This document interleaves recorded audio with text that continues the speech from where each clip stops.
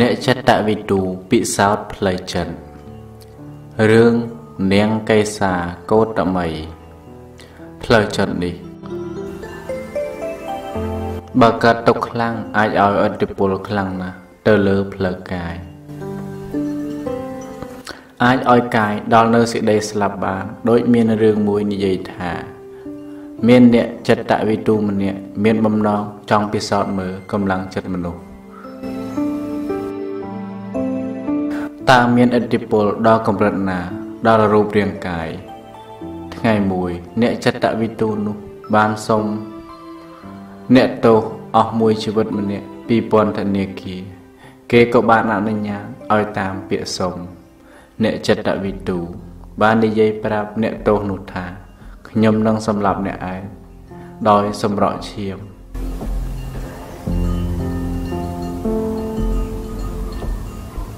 ហើយវាស់មើលដោយចង់ដឹងថាតើឈាមក្នុងខ្លួនមនុស្សមានប៉ុន្មានលៀបតើអ្នកយល់ព្រមឲ្យខ្ញុំធ្វើការពិសោធន៍បែបនេះ អ្នកនឹងមានឈ្មោះក្នុងប្រវត្តិសាស្ត្រពិភពលោក អ្នកទោសនោះគិតថាបើអញមិនស្លាប់ នៅពេលនេះទេថ្ងៃក្រោយ នៅតែស្លាប់ដដែលព្រោះគេកាត់ទោសប្រហារជីវិត រួចទៅហើយក៏នៅស្ងៀមគ្មានឆ្លើយអ្វីឡើយនៅពេលយប់អ្នកចិត្តវិទូបានយកអ្នកទោសនោះឲ្យអង្គុយលើកៅអីក្នុងបន្ទប់ងងឹតមួយ ដោយចងអ្នកទោសជាប់នឹងកៅអីហើយនៅខាងក្រោមជើងបរោះនោះ គេដាក់ធុងមួយឲ្យបរោះនោះដឹងថា ដើម្បីសម្រក់ឈាម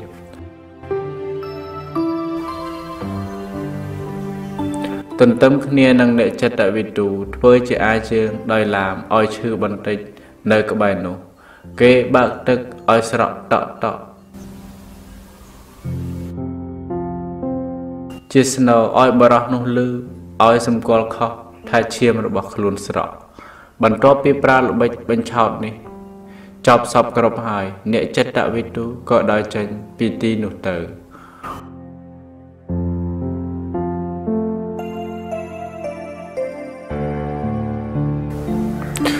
មួយយប់តលភ្លឺអ្នកទោសនោះចេះតែគិតថា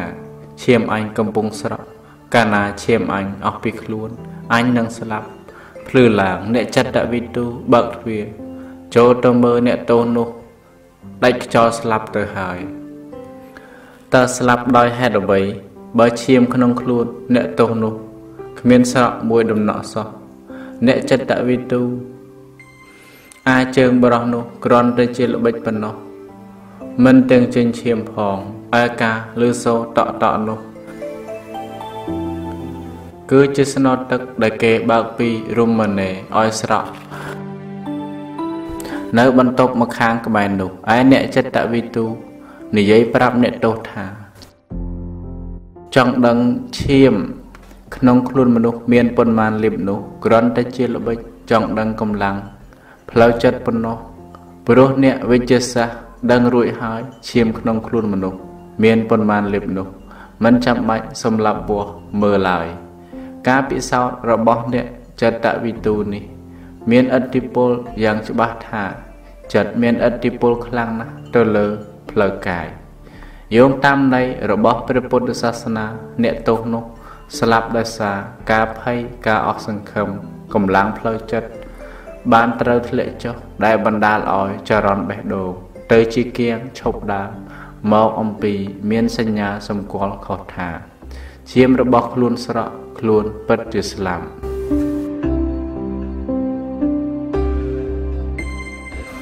សេចក្តីស្លាប់ជាការភ័យតក់ស្លុតរបស់មនុស្សសត្វទូទៅ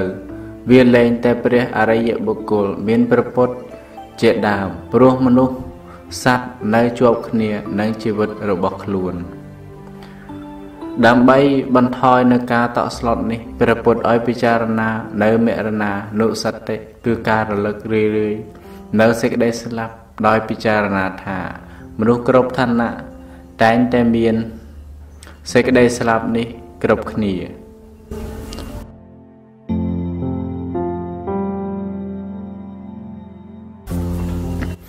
សូម្បីព្រះពុទ្ធជាម្ចាស់ក៏ព្រះអង្គរំលត់ខណ្ឌបរិនិព្វាននៅទីបំផុតដែរជំងឺកើតផ្លូវកាយឲ្យឥទ្ធិពលទៅលើផ្លូវចិត្តគឺធ្វើឲ្យចិត្តភ័យតក់ស្លុតទៅជាជំងឺផ្លូវចិត្តមួយជាន់ទៀត មួយទៀតកាលណាមានសេចក្តីស្លាប់តែងតែមានការប្រត់ប្រាស់គ្នា បើមិនបានពិចារណាតាមផ្លូវធម៌ទេ មនុស្សខ្លះកើតទុក្ខខ្លាំងរហូតដល់វង្វេងស្មារតីដោយជារឿងនាងកេសាកោតមីនៅក្នុងធម្មបទនៃគម្ពីរព្រះពុទ្ធសាសនា នាងបីកូនដែលស្លាប់ទៅរកគ្រូជួយកូននាងឲ្យរស់ឡើងវិញ ពេលទៅជួបព្រះពុទ្ធព្រះអង្គត្រាស់ថាតថាគតចេះប្រោះកូននាងដែលស្លាប់ឲ្យរស់ វិញបានប៉ុន្តែព្រះអង្គដាក់លក្ខខណ្ឌថាចូលនាងរកក្របស្បៃចំពោះគ្រួសារណាដែលគ្មានមនុស្សស្លាប់មកផ្សំធ្វើថ្នាំបន្ទាប់ពីស្វែងរកនាងក្រាបទូលព្រះពុទ្ធថាខ្ញុំព្រះអង្គរកពុំបានទេព្រោះគ្រប់គ្រួសារសុទ្ធតែមានមនុស្សស្លាប់ពេលវេលាដល់ហើយទៅព្រះពុទ្ធត្រាស់ថាមនានាងកេសាកោតមី នាងបានពិសោធន៍ខ្លួននាងហើយ មនុស្សកើតមកតែងតែស្លាប់គ្រប់គ្នា ចំណែកកូននាងក៏ស្ថិតនៅ ក្នុងចំណោមនេះដែរគ្មានជនណាជៀសវាងបានឡើយចូលនាងដកចិត្តចេញ ពីកូនដែលស្លាប់នេះ ហើយមានស្មារតីឡើងពិចារណានៅរូបរាងកាយរបស់នាង ដែលមានលក្ខណៈមិនខុសគ្នា ពីកូនជាទីស្រឡាញ់របស់នាងដែលស្លាប់នេះឡើយព្រោះថាសង្ខារខណ្ឌ5ទាំងឡាយដែលកើតឡើងហើយ តែងតែវិនិច្ឆ័យទៅវិញជាធម្មតា ដោយធម្មរស់របស់ព្រះពុទ្ធធ្វើឲ្យនាង មានស្មារតីឡើងវិញ ហើយពិចារណាធម៌តាមការបំភ្លឺរបស់ព្រះអង្គធ្វើឲ្យនាងបានជាសះស្បើយជំងឺផ្លូវចិត្តក្នុងពេលនោះទៅនេះជាបច្ចេកទេសរបស់ព្រះពុទ្ធក្នុងការសម្ដែងធម៌ប្រោសនាងកេសាកោតមី ដែលមានទុកខ្លាំងវង្វេងស្មារតីដោយឲ្យនាងពិសោធន៍ឃើញ ការពិតខ្លួនឯងទើបព្រះអង្គទាញមកបញ្ជាក់ជាក្រោយ។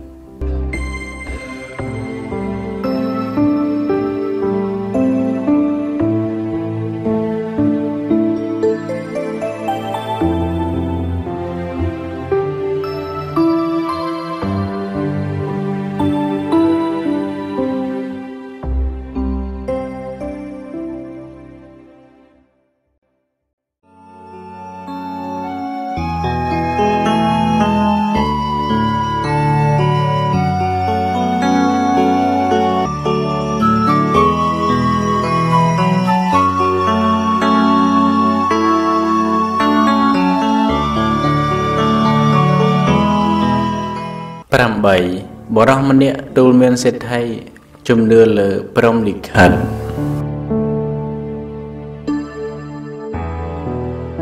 ការកើតវិបត្តិផ្លូវចិត្តមានច្រើនប្រភេទដូចនេះបច្ចេកទេសសម្រាប់យកទៅដោះស្រាយក៏ត្រូវមានច្រើនយ៉ាង ស្របតាមប្រភេទនៃវិបត្តិបុគ្គលកំពុងកើតទុក្ខខ្លាំងជួនកាលពញ្ញុលចំវិបត្តិតែម្ដងក៏ពុំមានប្រសិទ្ធភាពឡើយត្រូវបង្កើតជាបញ្ហាមួយ ឲ្យស្របតាមវិបត្តិនោះទុកឲ្យអ្នកមានវិបត្តិនោះយកបញ្ហានោះមកពិចារណាប្រៀបធៀបនឹងបញ្ហារបស់ខ្លួន ដោយសេដ្ឋីម្នាក់បានយំសោកស្ដាយកូនដែលស្លាប់រហូតទៅអបភ្នោថែមទៀតពេលនោះមានបរិះម្នាក់ចង់ទូលមានសេដ្ឋីនោះ បានសម្ដែងអាការៈធ្វើជាយំយកដៃជូតទឹកភ្នែកដោយសេដ្ឋីនោះដែរ សេដ្ឋីឃើញហើយសួរថាណែយុវជនដ៏មានរូបស្អាតអ្នកឯងយំកើតទុកពីរឿងអ្វីដែរបរោះនោះឆ្លើយថាខ្ញុំយំចង់បានព្រះអាទិត្យនិងព្រះច័ន្ទមកលេងព្រោះព្រះអាទិត្យនិងព្រះច័ន្ទទាំងពីរនេះ ជាបងប្អូននឹងគ្នាបើខ្ញុំមិនបានព្រះអាទិត្យនិងព្រះច័ន្ទទាំងពីរនេះ មកលេងទេ ខ្ញុំនឹងស្លាប់មិនខានសិទ្ធិពោលដោយអស់សំណើចថា ណែយុវជនល្ងង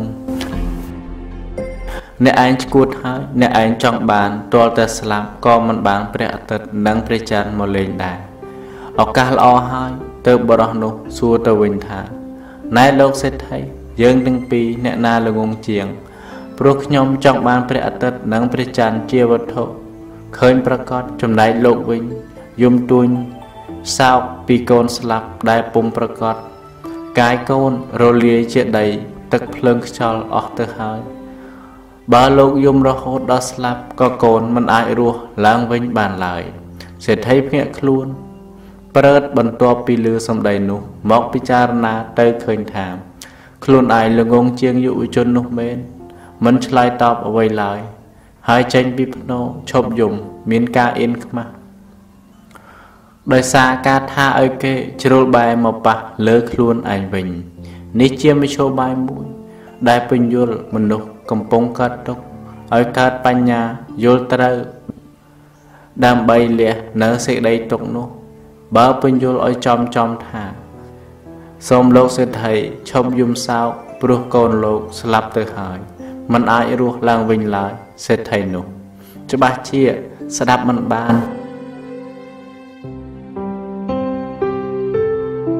បើយកបញ្ហាចង់បានព្រះអាទិត្យនិងព្រះច័ន្ទទៅគាត់យល់បានសេចក្តីថាគាត់យល់ដោយការប្រៀបធៀបព្រះពុទ្ធសាសនាពោលថាអប់រំមនុស្សសត្វឲ្យបានជោគជ័យគឺអប់រំតាមឧបនិស្ស័យរបស់មនុស្សសត្វនិងស្របតាមពេលវេលា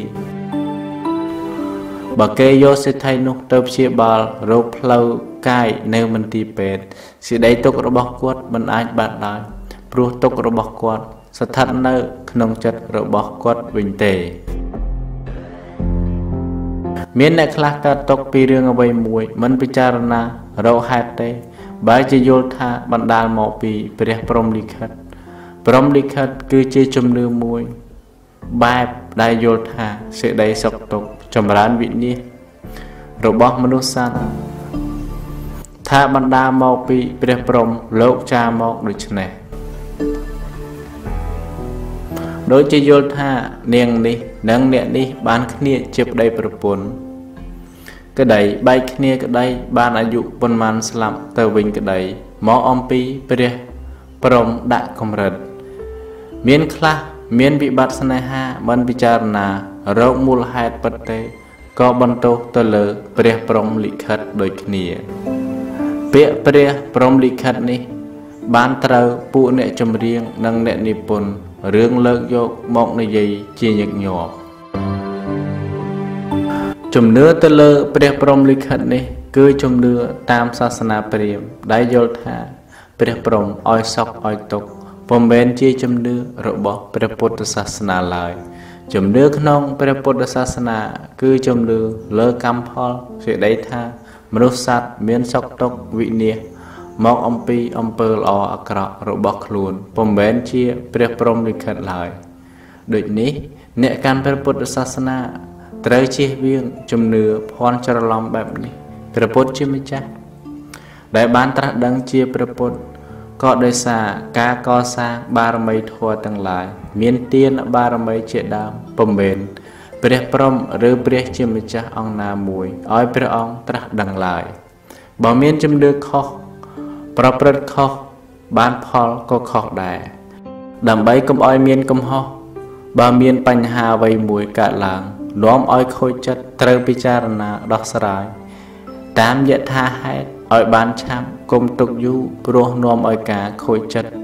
មានទម្ងន់កាន់តែធ្ងន់ឡើង ដែលនាំឲ្យពិបាកដោះស្រាយនៅពេលក្រោយបើដោះស្រាយខ្លួនឯងពុំរួចទេ គួររក ចាស់ទុំឬទៅថ្វាយបង្គំព្រះសង្ឃព្រះពុទ្ធសាសនាឲ្យលោកជួយដោះស្រាយនេះបើកើតមានវិបត្តិផ្លូវចិត្តដោយព្រះពុទ្ធបានទេសនាពញ្ញុលនាងបដាចានិងនាងកេសាកោតមីដែលកើតទុកផ្លូវចិត្តឲ្យជាសះស្បើយដោយអសតគឺព្រះធម៌មានអ្នកខ្លះចេះប្រមូលរឿងរ៉ាវរបស់អ្នកដតីមកទុកក្នុងខ្លួន ដែលធ្វើឲ្យចិត្តខ្លួនក្តៅក្រហាយជំនួសគេ នេះជាសកម្មភាពឥតប្រយោជន៍ត្រូវតែលះបង់ដើម្បីធ្វើឲ្យចិត្តខ្លួនស្ថិតនៅក្នុងសភាពស្ងប់ដែលជាមូលដ្ឋាននៃសេចក្តីសុខព្រះពុទ្ធសាសនាបានណែនាំថាបុគ្គលមួយរូបមួយរូបក៏បីត្រួតពិនិត្យមើលចិត្តរបស់ខ្លួនកុំឲ្យអកុសលចិត្តកើតឡើងព្រោះអកុសលចិត្ត មានលោភៈទោសៈមោហៈជាដើមនេះ ជាភ្លើងកិលេសមានឥទ្ធិពលដ៏ខ្លាំងក្លាដុតចិត្តបុគ្គលឲ្យក្តៅក្រហាយជានិច្ចព្រះពុទ្ធសាសនាពោលថាបើឈ្នះសេចក្តីអាក្រក់ខ្លួនឯងឈ្មោះថាជាជ័យជំនះដ៏ប្រសើរដែលធ្វើឲ្យចិត្តខ្លួនបរិសុទ្ធប្រាសចាកសត្រូវខាងក្រៅមនុស្សគ្រប់រូបក៏បីរស់នៅដោយការមិនបៀតបៀន ត្រូវយកមកជំនួសវិញនៅធម៌មេត្តា ជួយសង្គ្រោះអ្នកដទៃនេះជាធម៌របស់បុគ្គល ជាសពរោះមានព្រះពុទ្ធជាដើមព្រោះព្រះអង្គមានព្រះនាមថាអរហង្គមានព្រះតីបរិសុទ្ធផុតចាកសេចក្តីអាក្រក់គ្រប់យ៉ាងទៅព្រះអង្គសម្ដែងធម៌ទេសនាប្រោះមនុស្សសត្វជាក្រោយ មានការប្រោះមនុស្សសត្វដែលមានវិបត្តិផ្លូវចិត្ត ឲ្យមានស្មារតីល្អឡើងវិញជាដើម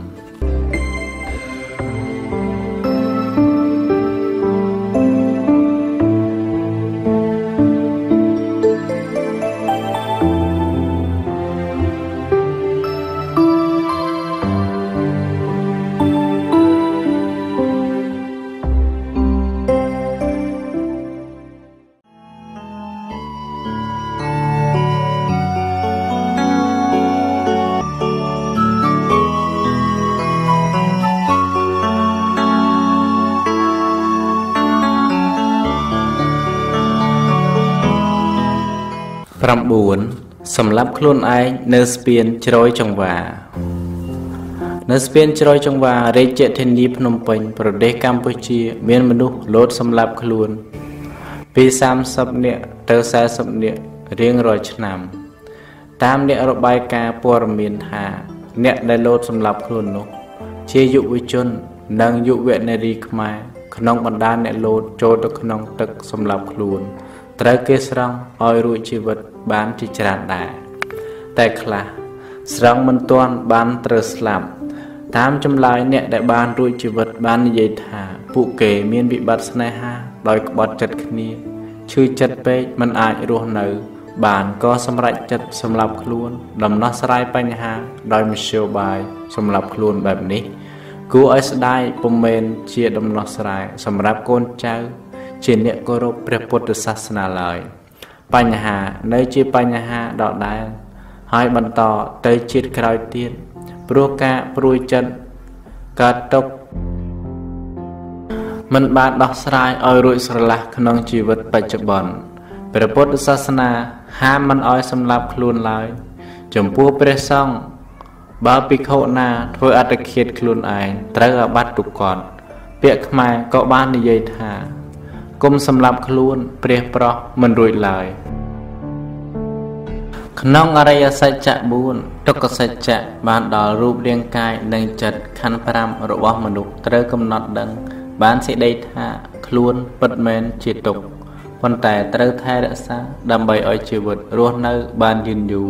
ដើម្បីបន្តបំពេញសេចក្តីល្អឲ្យបានច្រើនមិនត្រូវសម្លាប់ខ្លួនឡើយឯធម្មជាតិដែលត្រូវបានសម្លាប់គឺតណ្ហា ដែលជាហេតុនាំឲ្យកើតខណ្ឌ5ទេ ពុទ្ធសាសនាពោលថានទ្ធិអត្តសមੰពេមੰស្រឡាញ់អ្វីមិនស្មើនឹងស្រឡាញ់ខ្លួនឡើយ បានសេចក្តីថាខ្លួនជាទីស្រឡាញ់របស់ខ្លួន លើស្រឡាញ់អ្វីទាំងអស់ ដូច្នេះត្រូវថែរក្សារូបរាងកាយឲ្យមានសុខភាពល្អអាយុយឺនយូរមិនត្រូវសម្លាប់ខ្លួនព្រោះតែសេចក្តីស្រឡាញ់អ្នកដតីហើយមិនបានសម្រេចដោយបំណងឡើយពុទ្ធសាសនាពោលថាសេចក្តីទុក្ខការភ័យខ្លាចសេចក្តីសោកកើតពីសេចក្តីស្រឡាញ់កាលណាជន ឬរបស់ជាទីស្រឡាញ់ របស់ខ្លួនបាត់បង់ទៅក៏កើតទុក្ខការប្រាថ្នារបស់ណាមិនបានសម្រេចដោយប្រាថ្នាក៏កើតទុក្ខដូច្នេះមូលហេតុដែលនាំឲ្យយុវជន និងយុវនារីខ្មែរលោតចូលក្នុងទឹក ពីលើស្ពានជ្រោយចង្វាសម្រាប់ខ្លួនមកអំពីសេចក្តីស្រឡាញ់ហើយជននីតិស្រឡាញ់បាត់បង់ទៅយុវជន និងយុវនារីដែលបានត្រូវស្រង់អរួចជីវិត បើមិនដកចិត្ត ចេញពីជននីតិស្រឡាញ់ដែលបានបាត់បង់ទៅទេចិត្តកើតទុកនៅតែមានដដែលវិធីដោះស្រាយតាមផ្លូវព្រះពុទ្ធសាសនា ចំពោះបញ្ហាការបែកចិត្តនេះ គឺទី1ត្រូវនិយាយសម្របសម្រួលគ្នា បង្ហាញហេតុផលក្រែងមានការយល់ខុសបានជាមានចិត្តបែកគ្នានេះ បើវិធីទី1នេះពុំមានប្រសិទ្ធភាពទេ ត្រូវយកវិធីទី2មកដោះស្រាយគឺលះបង់កាត់ចិត្តអស់អាល័យឈប់គិតគូដកចិត្តចេញពីប្តីប្រពន្ធឬពីគូស្នេហាឬសង្សារនោះ ដើម្បីកុំឲ្យខូចចិត្តគេបែកចិត្តចេញពីខ្លួន ខ្លួននៅតែនឹកអាឡោះអាល័យមិនដាច់ចិត្តចេញពីគេរហូតធ្វើអត្តឃាតសម្រាប់ខ្លួនបែបនេះចាប់ជាមធ្យោបាយរងងខ្លៅខ្លួនជាទីស្រឡាញ់របស់ខ្លួន គុំស្រឡាញ់អ្នកដតីជាងស្រឡាញ់ខ្លួន រហូតសម្រាប់ខ្លួនឯងឈ្មោះថាជាអ្នកស្អប់ខ្លួនឯងវិញទេ ការកើតមកជាមនុស្សមានតម្លៃណាស់ត្រូវតែតស៊ូតាំងស្មារតីឲ្យរឹងប៉ឹងព្យាយាមដោះស្រាយគ្រប់បញ្ហាទាំងអស់ដែលចោតឡើងក្នុងជីវិតមិនត្រូវយកការសម្លាប់ជាដំណោះស្រាយបញ្ហាឡើយមួយទៀត ការស្លាប់ដើម្បីបញ្ឈឺចិត្តឲ្យគូស្នេហ៍របស់ខ្លួនក៏គ្មានប្រយោជន៍អ្វីសោះក្រៅពីជីវិតរបស់ខ្លួនបានត្រូវស្លាប់ផ្ទុយទៅវិញត្រូវតែមានសេចក្តីក្លាហានបើគេដាច់ចិត្តពីខ្លួនខ្លួនត្រូវតែដាច់ចិត្តពីគេដោយពាក្យខ្មែរថា ខ្វះអ្វីប្រុសពេញដីស្រីពេញនគរនេះបើចង់មានប្តីប្រពន្ធតទៅទៀត មិនចង់ទៅបួសជាព្រះសង្ឃឬធ្វើជាដូនជីទេ ជំងឺរបស់យុវជននិងយុវនារីដោយពោលខាងលើនេះ ជាជំងឺផ្លូវចិត្តដោយវិបត្តិស្នេហាត្រូវនាំអ្នកទាំងនោះទៅរកចាស់ទុំឬព្រះសង្ឃជាព្រះពុទ្ធសាសនាដែលមានឬព្រះសង្ឃព្រះពុទ្ធសាសនាដែលមានជំនាញខាងផ្លូវចិត្តជួយពន្យល់ណែនាំ ផ្លូវធម៌ឲ្យឃើញការពិតថាអ្វីទាំងអស់តែងតែមានការប្រែប្រួលផ្លាស់ប្ដូរតាមច្បាប់ធម្មជាតិមិនទៅតាមបំណងរបស់ខ្លួនឡើយ គឺប្រព្រឹត្តទៅតាមកម្មផលដែលខ្លួនបានកសាងកាលណាយុវជននិងយុវនារីដែលមានវិបត្តិផ្លូវចិត្តទាំងនោះស្ដាប់បានសេចក្តីទុកផ្លូវចិត្តនឹងត្រូវរលត់ដោយការដកចិត្ត ពីជនជាទីស្រឡាញ់ដែលបានបាត់បង់ទៅហើយ ដែលมันអាចវិលត្រឡប់មកដូចដើមវិញកំណត់មនុស្សជាកំណើតកសាងឈ្មោះទៅរកការរំដោះទុកដូច្នេះត្រូវតាំងស្មារតីឲ្យរឹងមាំកុំឲ្យចិត្តការប្រែទៅតាមអារម្មណ៍ខាងក្រៅដូចជារឿងស្នេហា រវាងបុរសនិងស្ត្រីនេះជាដើមការសោកស្ដាយនៅវត្ថុឬជនជាទីស្រឡាញ់របស់ខ្លួន ដែលបាត់បង់ទៅទោះបី យំសោកស្ដាយយ៉ាងណាក៏មិនអាចវិលត្រឡប់មកដូចដើមវិញឡើយដូច្នេះការទួញសោកនោះជាការឥតប្រយោជន៍នាំឲ្យខូចចិត្តរបស់ខ្លួនវិញទេ ការនាំអ្នកមានវិបត្តិផ្លូវចិត្តឲ្យចូលវត្តដើម្បីឲ្យព្រះសង្ឃជួយអប់រំផ្លូវចិត្តដោយពោលមកហើយពុំមែនចូលវត្តត្រឹមតែឲ្យព្រះសង្ឃសូត្រមន្តរំដោះគ្រោះលើករាសី ស្រោចទឹកប៉ុណ្ណោះឡើយសំខាន់នៅត្រង់ការពន្យល់ហេតុផលឲ្យដកចិត្តពីការជាប់ជំពាក់នេះឯងបើព្រួយចិត្តរហូតកើតជំងឺផ្លូវកាយត្រូវនាំទៅមន្ទីរពេទ្យព្យាបាលរោគផ្លូវកាយផង